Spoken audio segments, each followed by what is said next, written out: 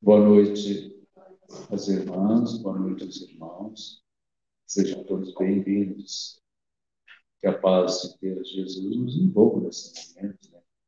Com esse calor humano, nós não sentimos frio. Uma vez que nós tiramos o casaco. É, nós temos alguns recados antes de passarmos a nossa palestra da noite.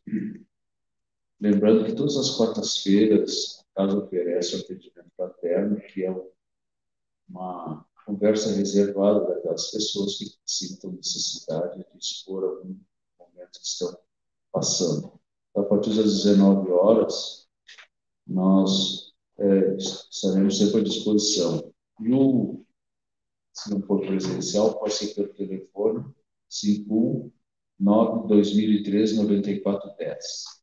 Repetindo, 9 2013 9410. Também, essa, é, lembrando que nossas palestras são gravadas e passam a ser é, veiculadas na página do Facebook e no canal do YouTube, a partir de sextas-feiras, às 20 horas. Então, quem ouvir hoje, quer ouvir novamente, e eu tenho quase certeza que a palestra de noite que o Sérgio vai fazer vai nos despertar esse interesse, porque eu tive a oportunidade de assisti-lo lá em Taquara e é muito interessante. É, aqueles que quiser também trazer as suas garrafas com água, colocam ali, serão frutificadas, o ambiente todo ele é frutificado. Nós estamos recebendo nesse momento, cada um de nós, uma energização através do plano espiritual. Se nós nos elevarmos em pensamento, em oração, potencializa isso. Então, nós informamos que pode deixar ali para ser frutificado. É, no final da, da, palestra é aplicado o passe. Vocês vão observar que os aplicadores do passe circulam por trás de vocês. É o momento de nós elevarmos nossos pensamentos, trazer nossos entes queridos que têm dificuldades, aqueles que nós é, convivemos, para dentro do nosso centro espírita através do pensamento. E a equipe espiritual, com certeza, irá ao ambiente que eles estiverem para auxiliá-lo através do nosso empenho, da nossa dedicação. Também temos ao lado, e hoje vieram livros novos, né? Eu fiz, um, eu fiz uma compra significativa, porque são obras muito interessantes. Então, quem tiver interesse pode procurar tanto para aquisição como para empréstimo. É, informamos que a Casa Espírita está sempre à disposição para o estudo, então, todas segundas-feiras, a partir das 20 horas, nós temos o estudo sob a coordenação da nossa querida irmã Ieda, é o estudo para os iniciantes. É aquele ambiente bem fraterno, que nós possamos tirar nossas dúvidas, trocarmos ideias e identificar se realmente é a doutrina espírita que eu quero abraçar e dar continuidade. Não é, é uma imposição se tornar espírita. O que nós é, oferecemos a oportunidade de estudar a doutrina espírita. Se tornar espírita é consequência do aprendizado. Então, nós vamos fazer a nossa prece de abertura, ao qual nós Convidamos a todos para que nesse momento, ao fechar nossos olhos do corpo, possamos abrir nossos olhos da alma e sentir a presença amiga da equipe do Dr. Bezerra de Menezes e demais trabalhadores do plano maior que têm o compromisso e a responsabilidade de nos auxiliar nesses momentos. Que Jesus, no seu infinito amor, possa nos envolver e fazer com que o tema da noite, o seu conteúdo, cale fundo em nossos corações e nos dê a oportunidade de reflexão para nós nos tornarmos cada vez melhores como espíritos imortais que somos. Que a tua paz, mestre, conforme o doutor Bezerra de Menezes, esteja conosco hoje e sempre. A noite de hoje, então, nós temos nosso irmão Sérgio Lambert, do Centro Espírito Nosso Lar de Igrejinha, que vai nos falar hoje desconstrução dos sentimentos. Então, a palavra Sérgio, seja bem-vindo.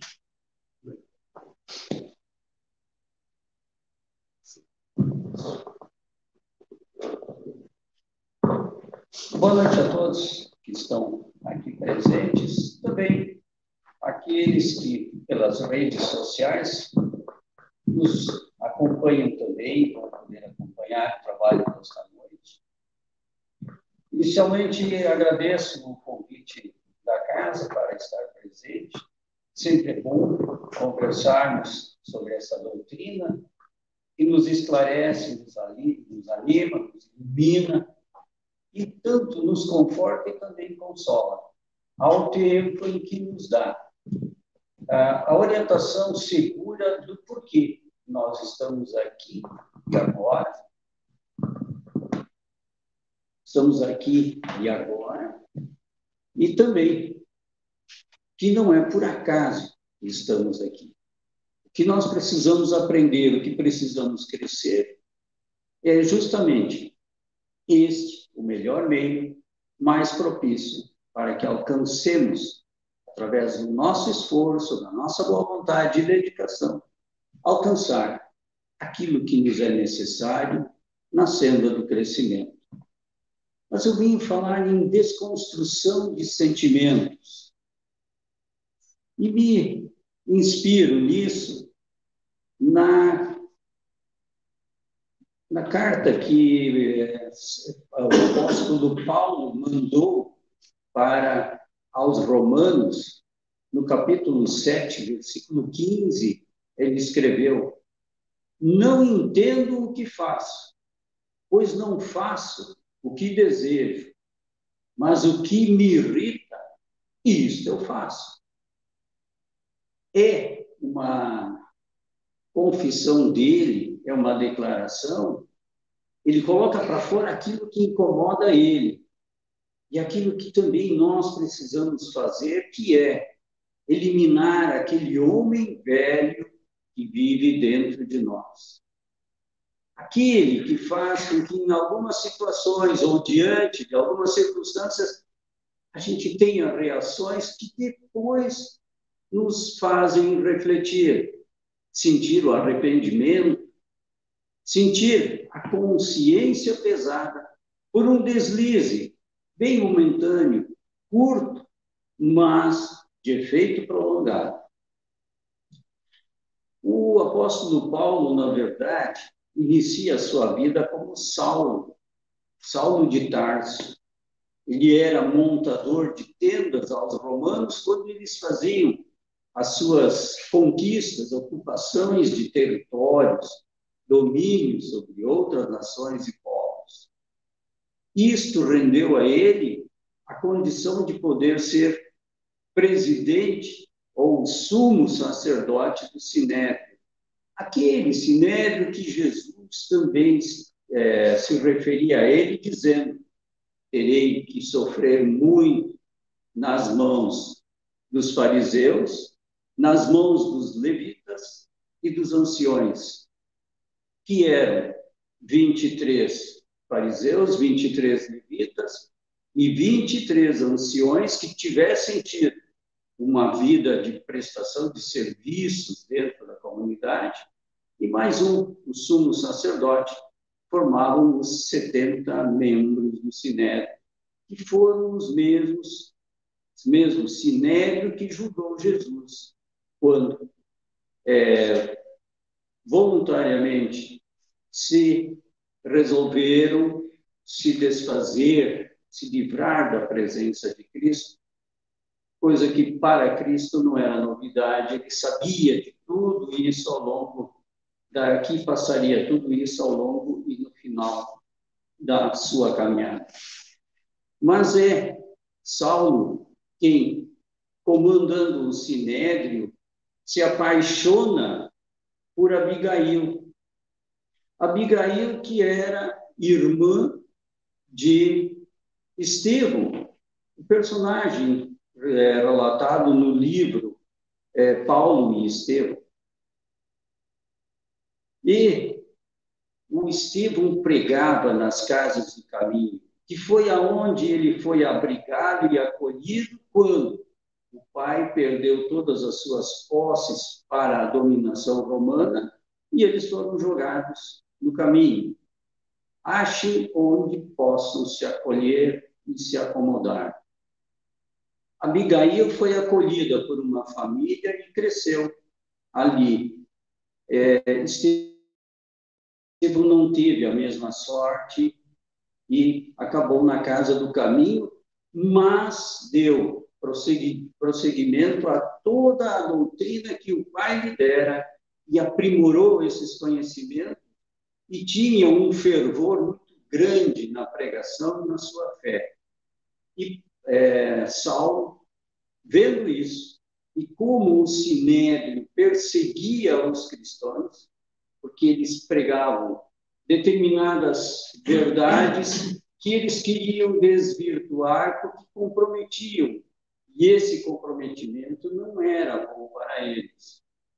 Então, é, Paulo vai lá assistir os pronunciamentos de Estevão e resolve debater com ele e não consegue é, dominar os seus conhecimentos, não consegue se impor diante de toda a fé, verdade e fervor que ele tinha na defesa do cristianismo.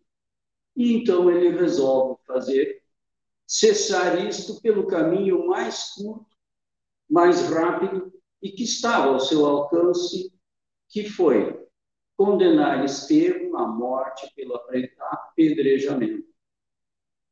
E ele convida Abigail para que ela vá assistir o grande espetáculo que emana do poder que ele tinha de dar condenação à morte a quem ele quisesse ou a quem é, resolvesse é, pregar algo que fosse contrário à sua vontade. Abigail é, fica em dúvida se vai ou não vai. Inclusive, chega a pedir para que alguém vá em seu lugar. Mas ele insiste. Ele faz questão que a sua amada vá assistir aquele espetáculo horrendo. E ela vai e de longe assiste. Depois de tudo terminado, Saulo, cheio de orgulho e vaidade, vai perguntar a ela o que ela achou daquele espetáculo, daquela do cumprimento da sua ordem e ela diz: Infelizmente, você mandou matar o meu irmão. E é ali que o mundo desaba para ele. Ele perde a sua amada e se põe a caminho de Damasco. E é no deserto que ele tem o contato com Cristo. E é isto que faz ele mudar completamente a sua, a sua visão diante da, do trabalho e da doutrina de Jesus. Ele chega a Damasco e diz a história que ele ficou cego por um tempo. Acredito que a cegueira dele foi na consciência, o debate entre o homem velho que ele era e o novo que ele começava a assumir.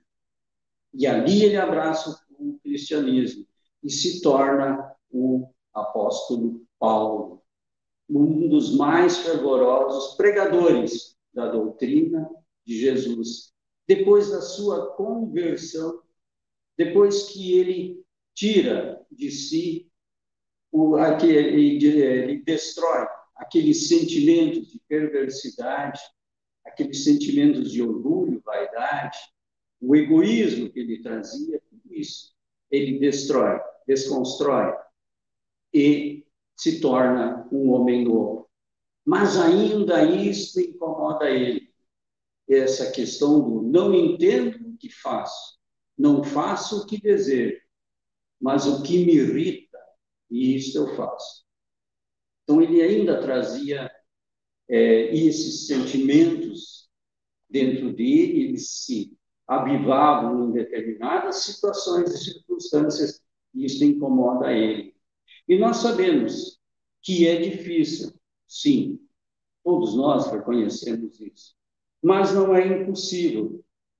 É, como ele, mais tarde, anos mais tarde, quando ele manda uma das suas epístolas, uma de suas cartas aos Gálatas, lá ele já faz um relato de si já mudado, já, é, já melhorado em todos os sentidos. Ele confessa ali que a experiência que tem vem mudando e, e vem fazendo ele um homem melhor. Mas aí eu proponho para vocês uma, um questionamento. Se cada um de nós aqui agora ganhasse 86.400 e se alguém inadvertidamente, nós, sem nós esperarmos, viesse e nos tomasse 20, nós iríamos seguir adiante, ficar contentes e satisfeitos com os 86.380 que sobraram, ou nós perderíamos, ou deixaríamos de aproveitar melhor os 86.380, correndo atrás dos 20. É uma questão que nós temos muitas vezes, é quase às vezes um dilema pelo qual nós passamos. E eu lembro aqui, de certa feita, havia um seminário, e para este seminário foi convidado como palestrante debatedor um escritor. E na cidade havia uma pessoa que tinha, desde o primeiro até o último livro que ele lançara, todos eles ele lera e guardara. Era o seu autor predileto e que mais gostava de acompanhar as suas obras. E ele se inscreveu, inclusive para ser um dos colaboradores na organização do seminário, para ter a oportunidade de chegar mais perto do seu autor.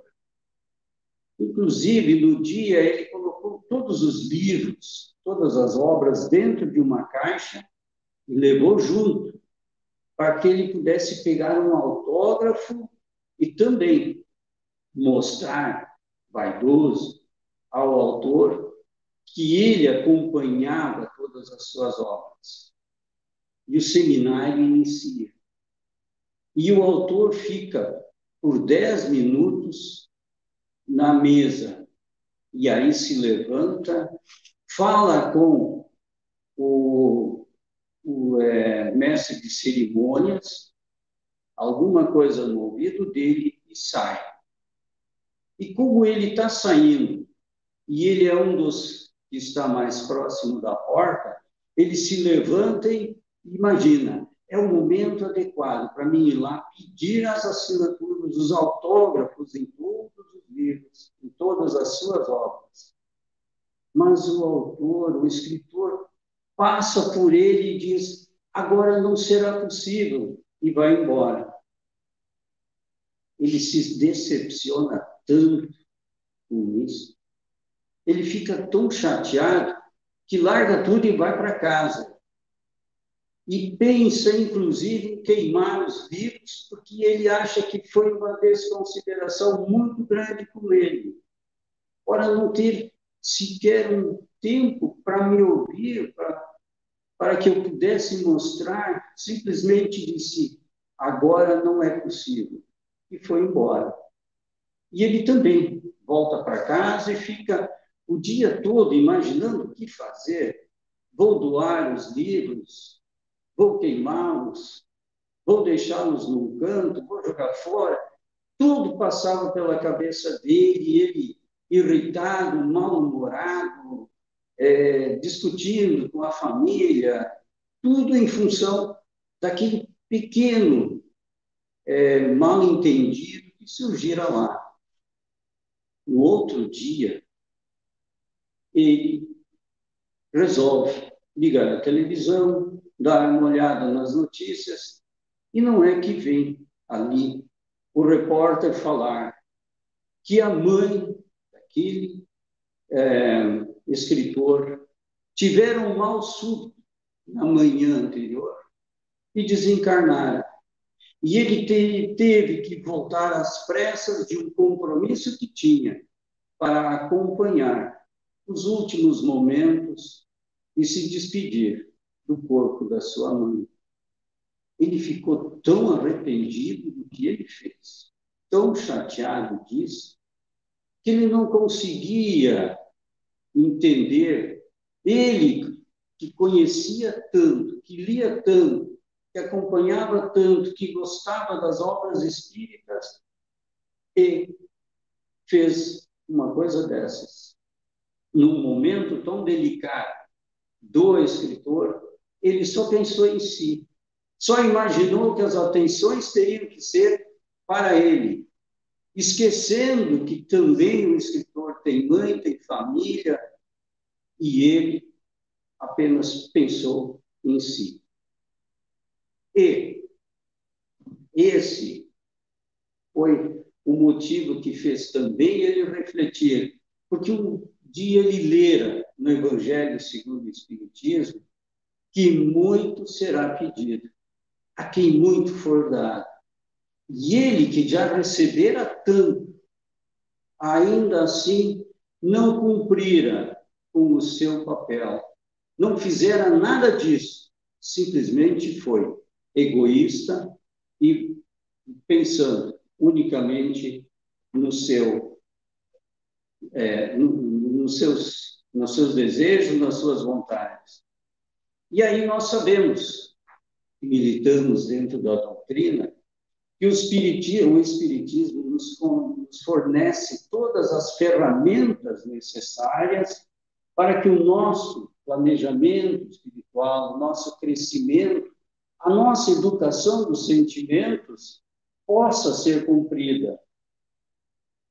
Quando Kardec pergunta à espiritualidade lá nas questões que estão no livro dos Espíritos, Kardec fez a pergunta: poderia sempre o homem, pelos seus esforços, vencer as suas más inclinações? E a espiritualidade responde: poderia sempre o homem, pelos seus esforços, vencer as suas más inclinações. Sim, e frequentemente fazendo esforços insignificantes. É uma resposta para deixar qualquer um envergonhado, porque são esforços insignificantes. Basta abrir os olhos, basta ter os olhos de ver e sentir que todos nós temos dificuldades, todos nós temos os nossos dramas, todos nós temos os nossos compromissos e precisamos respeitar sempre uns aos outros para que a gente possa cumprir e ter e vencer na vida espiritual, no crescimento e no adiantamento da, do nosso espírito. Mas a espiritualidade não para por aí. Se a primeira parte da resposta já foi dura, eles completam ainda dizendo: o que lhe falta é a vontade. Aí eles acabam arrasando. Os esforços são insignificantes e ainda assim nos falta a vontade. Ou seja, eles nos conheciam profundamente. Eles nos conheciam até o último estágio da nossa intimidade. Por isso, eles dão este alerta e dão essa explicação tão é, própria, tão é, certeira, tão apropriada por estágio em que nós estamos no nosso desenvolvimento e crescimento. Eu quero aqui lembrar também da vida de São Francisco de Assis. São Francisco de Assis, um padre católico nascido na Itália, na cidade de Assis. Por isso, o São Francisco de Assis. Assim como Saulo de Tarso também era de Tarso por ter nascido na cidade de Tarso. Pois bem, o São Francisco de Assis criou a Ordem dos Franciscanos, ou primeiramente chamada como a Ordem dos Frades Menores, um profundo voto de pobreza. Pois bem, uma das questões, um dos trabalhos que São Francisco de Assis mais abraçava era o jejum. Era para ele importante o jejum e a meditação durante o jejum. E certa feita, quando eles programaram, organizavam e estavam cumprindo um destes períodos, à noite, São Francisco ouve um choro no alojamento onde estava. E ele se levanta e vai até a origem dele e encontra um dos seus companheiros, um dos frades franciscanos, chorando. E ele pergunta: O que está acontecendo? O que se passa contigo? E ele diz: O jejum está sendo duro demais para mim. Eu não estou aguentando a fome. E São Francisco de Assis nada diz a ele. Apenas se retira e vai para a cozinha e prepara um café. E depois de pronto, vai lá, chama aquele companheiro e o leva até a cozinha e toma café com ele.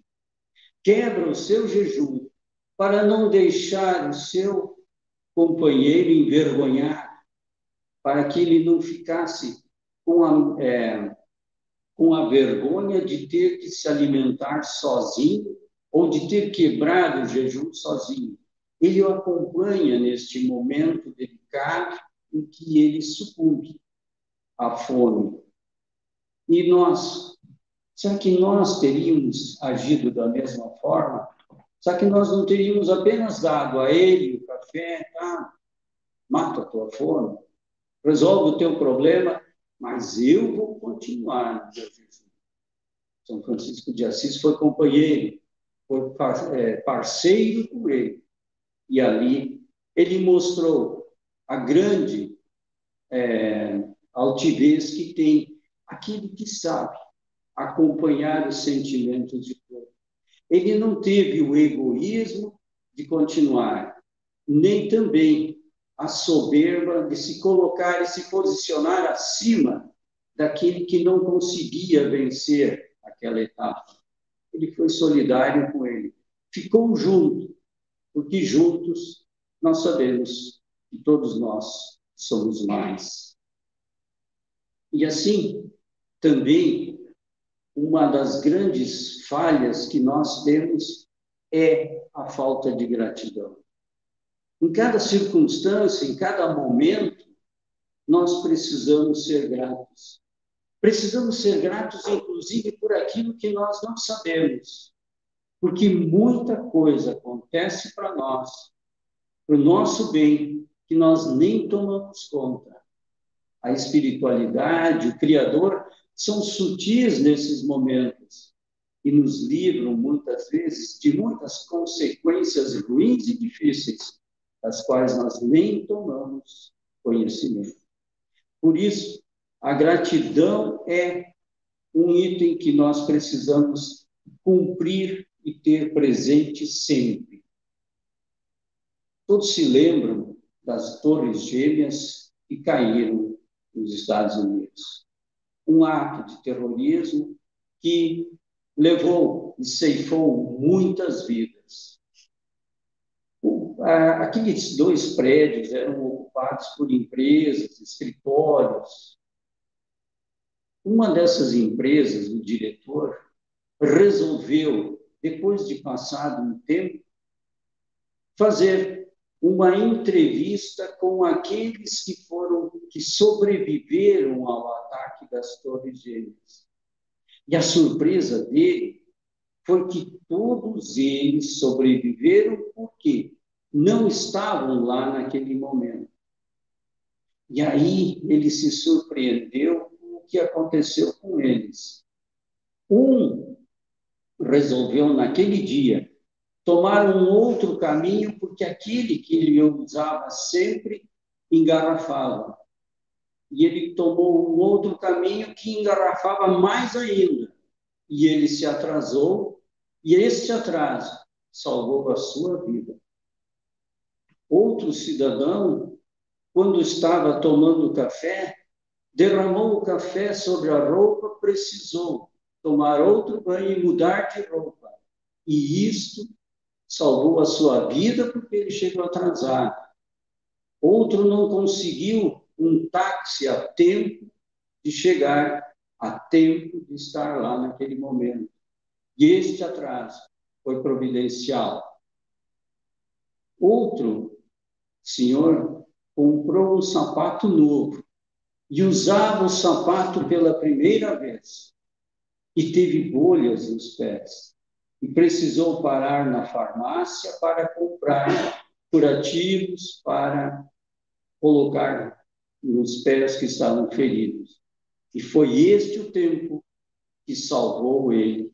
Atrasou a sua chegada, mas salvou a sua vida.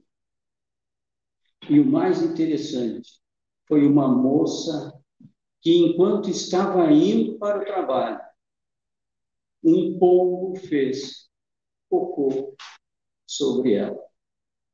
E ela precisou voltar para casa para lavar o cabelo e trocar de roupa.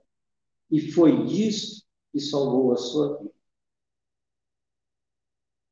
Por isso, eles foram gratos por aquilo que, no primeiro momento, eles reclamaram, xingaram, se debateram, não gostaram daquilo, mas aquilo salvou a sua vida. E nós também. Muitas vezes, algum imprevisto acontece e nós nos irritamos, nós perdemos a paciência, mas não nos damos conta que ele pode ter sido providencial e ter salvado a nossa vida as histórias de gente que perdeu o avião, que depois se acidentou, são inúmeras. Tudo isso é motivo de gratidão. Por isso é que eu digo, quando nós ganhamos 86.400 e alguém nos leva a 20, não vamos perder o que sobra, preocupados ou doídos ou incomodados pelos vírus. E amanhã, de manhã, nós vamos lembrar disso, porque hoje, à meia-noite, vai começar um novo dia, uma quinta-feira, que vai terminar às 11h59 da, da sexta-feira, quando inicia a sexta-feira. E aí nós vamos ganhar 86.400 segundos. E se por um acaso alguém vier nos tomar estes 20 segundos, não vamos perder todo o dia e passar um bom tempo das nossas vidas arrependidos por um ato de insatisfação que nós tenhamos, quando não um ato que exponha sentimentos que nós não queremos mais viver, não queremos mais alimentar. Vamos eliminar de nós aquele homem velho que reclama de tudo, sem pensar nas consequências, sem pensar que aquilo pode ter sido melhor, ou se aquele, como foi o caso do escritor, teve um compromisso, uma circunstância adversa muito maior do que a nossa, como aquele senhor que queria os autógrafos.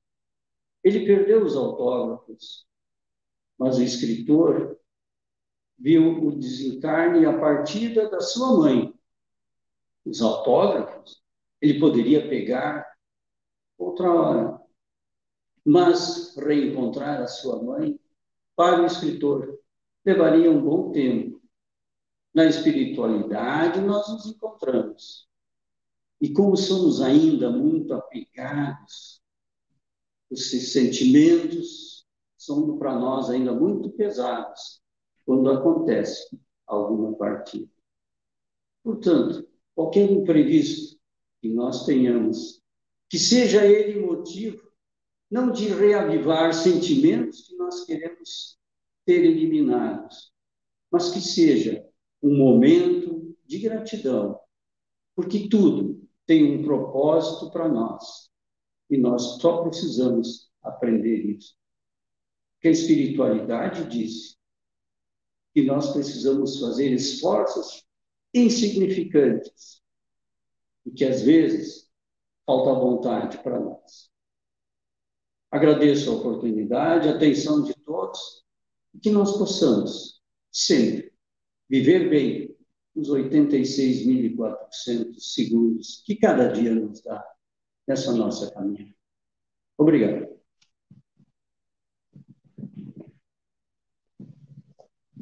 Obrigado, Sérgio. Um conteúdo bastante amplo para a nossa reflexão. Né? Então, nós reafirmamos nosso convite para estudar conosco às segundas-feiras, a partir das 20 horas. A dona Ieda estará nos aguardando a todos. Vem tirar suas dúvidas. Vem é, desvendar esses mistérios que a sociedade humana cria em sua volta. A doutrina espírita tem resposta para tudo. Vem, serão sempre bem-vindos. Então, nesse momento, a gente encerra a primeira parte da nossa é, atividade da noite de hoje, agradecendo ao Sérgio, leva o nosso carinho, nosso abraço aos nossos irmãos do Centro Espírita, nosso lar de igrejinha, e já com saudade para a próxima. Vamos também agradecer a Deus, a Jesus, por esse momento, esse banquete que recebemos na noite de hoje, essa noite tão angélica, por fora, mas tão aquecida pelas palavras amorosas do nosso irmão. Que Jesus, no seu infinito amor, possa nos envolver e nos conduzir até nossos lares, muita paz e muita luz. E no segundo momento, então, nós vamos conduzir uma prece, enquanto nossos irmãos aplicadores do passe estarão aplicando o passe em cada um dos senhores. E a que a gente abre nossos corações, levemos nossos pensamentos e fechemos os nossos guarda-chuva para que as bênçãos divinas possam atingir a todos nós.